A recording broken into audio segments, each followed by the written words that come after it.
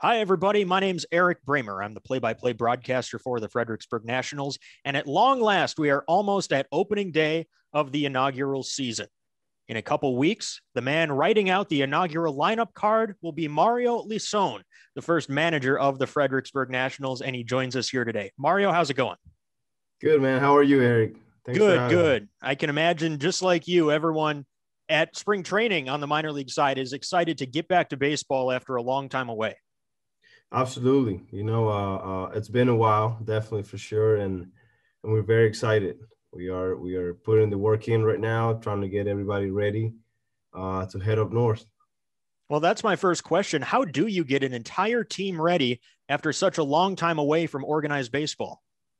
Well, uh, we started a little slow. You know, we had to make sure uh, uh, all the kids are in, in, a good shape. You know, being so long and with all this uh, COVID things that are happening and, and places being shut down and things like that. So it's a little a little challenging. But uh, the first week, you know, we got them we got them in in a good shape. We we got we make sure that everybody was on a on on a good condition to perform and and now we've been uh, ramping it up. Actually, we started our games uh, this past week.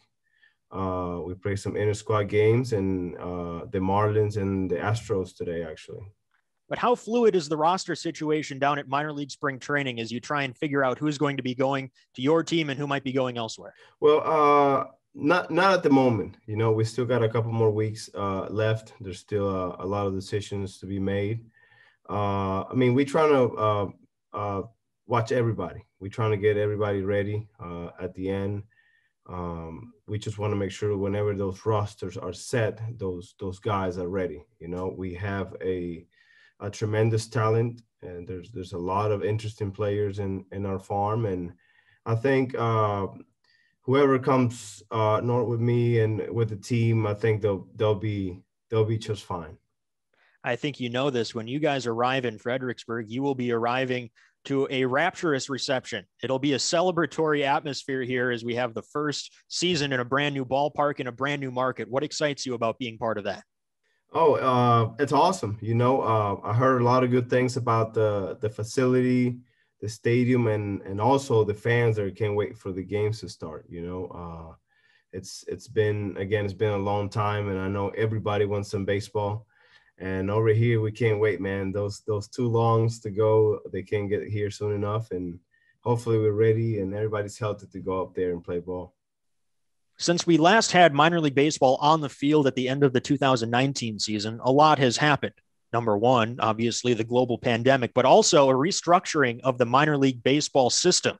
The Fredericksburg Nationals were originally going to be a high A franchise. Now they are a low A franchise. And as someone who has played minor league baseball and knows the differences between the two levels, what can fans expect from low A baseball? Well, I think, you know, there's uh, there's a lot of guys learning still. You know, uh, that's for for most of them that will be their first full season. Uh, they'll probably got some guys coming back from from 2019, but for the most part, it's uh, it's the first time for a lot of them. You know, uh, I'm expecting at the beginning, you know, they're a little nervous, trying to do too much, and especially having fans that that plays a big role. You know, as for as you play rookie ball, there's basically no fans. It's just your own players watching the game and some scouts. Now they have fans. Um, you know, the first the first couple weeks, well, I guess will be a little bit uh, too exciting for them, but hopefully they can settle into it. Um, but we're excited, man. Uh, hopefully we can we can all stay healthy. That's the main thing, obviously, and and we're gonna go there and play play hard, man. Play to win.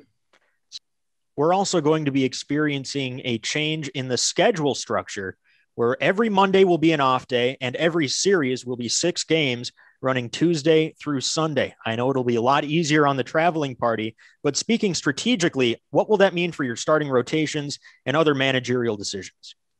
Well, right now, uh, as the rotation, uh, we haven't really set up anything yet. Uh, uh, likely will be a, a five man rotation. Like I said, I mean it's it's still early to to talk to you about a plan or what are we going to do in that aspect. Um, but definitely it help it helps you know it helps a little bit you don't have to deal with it traveling in between weeks you know when when you're arriving to a new city at, at three in the morning and have to wake up and go play the next day you know it gives you a little more uh, breathing room especially for those guys you know they they stay at one place and we have the opportunity to play six days in a row and then you get this day off so i think it will help us you know also the traveling uh, i kind of look at the schedule and the the traveling looks very friendly, which will be awesome, and and definitely will help the players, man. The main thing is it's uh, trying to keep everybody fresh and make sure they are at hundred percent so they can perform their best.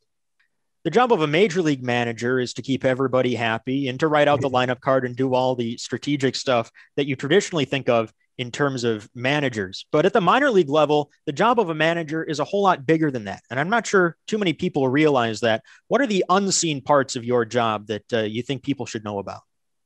Well, the, the main thing, at least for me at, at this level, is we have to develop the players. You know, uh, at the big league level, uh, the most important thing is win. You know, you have to win every game.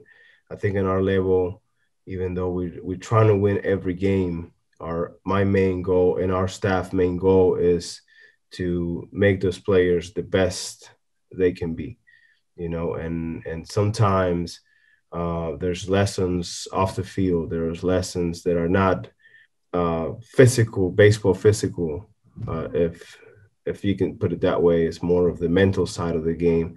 And and at this level you know th- those kids are just uh, taking their first steps. And there's a lot of the mental side of the game that they need to continue to learn and develop. And that's that's a that's a big one for me you know and and that's not seen much. And on tv or on the paper you don't see that much. And i think uh, that's a huge thing for us as an organization Finally, Mario, what do the final two weeks of your minor league spring training camp bring for you and the players as you try and ramp up towards opening day? Well, we continue to play games. Uh, we're going to continue to play games. Uh, whenever we don't play other teams, we're going to play each other, uh, trying to get those kids as many as bats as possible, trying to get those pitchers' arms ready to go. Um, definitely the last week, you know, once uh, we have a better idea of who's going to be making the team or not, then we can start, you know, talking a little more team like or team wise.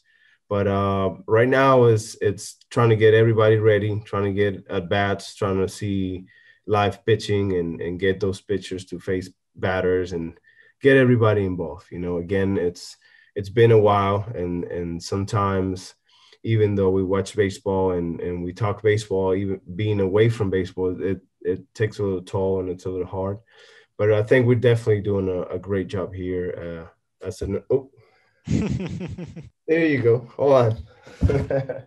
it's the world we're living in.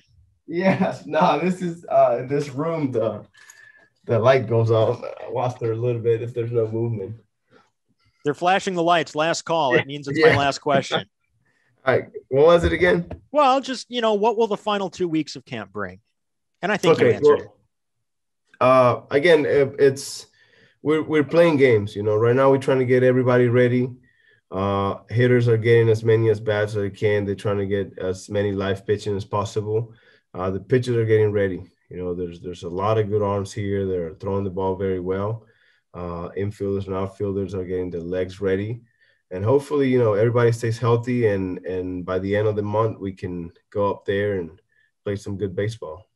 Well, best of luck, Mario, for the remainder of spring training. I look forward to meeting you in person someday soon, and we look forward to opening day between the Fred Nats and the Lynchburg Hillcats in just a couple weeks' time.